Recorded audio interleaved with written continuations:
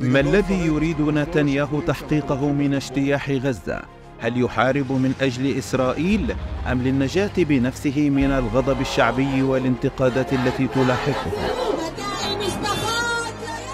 أسئلة كثيرة طرحتها الصحف الإسرائيلية والغربية مع استعدادات الجيش للاجتياح البري لغزة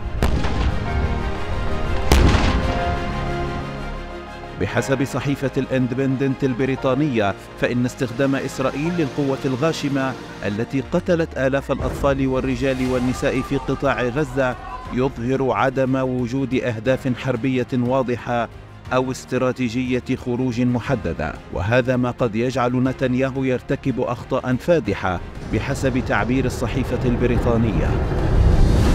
بدورها تقول صحيفة هارتس الإسرائيلية إن نتنياهو يفكر في كيفية الخروج أو التنصل من مسؤولية فشل التنبؤ بهجوم حركة حماس عبر محاولته إلقاء المسؤولية على الجيش.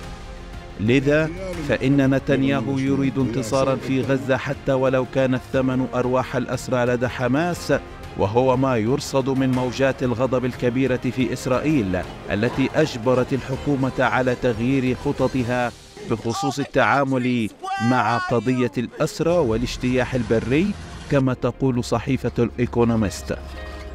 فتلك الوقفات الاحتجاجية وظهور أهالي الأسرى على وسائل الإعلام المحلية الإسرائيلية حولت قضية الأسرى لقضية إنسانية بدلا من كونها سياسية بين الأوساط الإسرائيلية خاصة أن أغلب سكان المستوطنات التي تعرضت لهجوم حماس يساريون ومن المرجح أن ينشطوا في الاحتجاجات ضد حكومة نتنياهو.